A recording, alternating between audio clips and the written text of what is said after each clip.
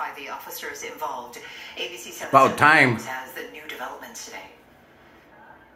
The family of Isaac Goodlow says justice delayed is justice denied since there have been no criminal charges filed against the Carol Stream police officers who killed him during a police involved shooting more than three months ago. I still can't sleep. I'm just starting to eat. Because I'm thinking about Isaac every day and the justice that I know that we need.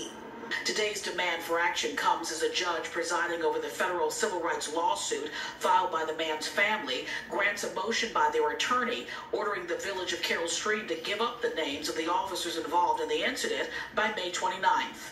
We should know how long they've been on the force. We, we, and those officers should be held responsible and accountable. A task force investigating the police involved shooting concluded the 30 year old African American man was unarmed and in his bed when he was shot and killed by officers on February 3rd.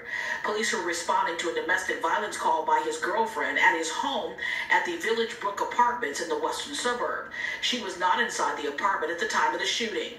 If this was the police being murdered by a citizen or community member. Yeah. We will already know the person's face shot, mug shot, background record, criminal behavior. In a brief emailed statement, a spokesperson for the DuPage County State's Attorney writes The State's Attorney is reviewing the evidence in this matter, which is extremely voluminous.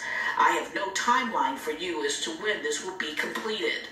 This afternoon, as a community of the grief stricken and concerned question the transparency and integrity of the process, they hope the powers that be will do the right thing. How much do you have to scream for justice when your family member has been murdered? The family also would like to get an unedited version of the police officer body cam video and is vowing to protest until they get justice. Reporting from West Suburban Wheaton, Evelyn Holmes, ABC 7 Eyewitness News. Evelyn,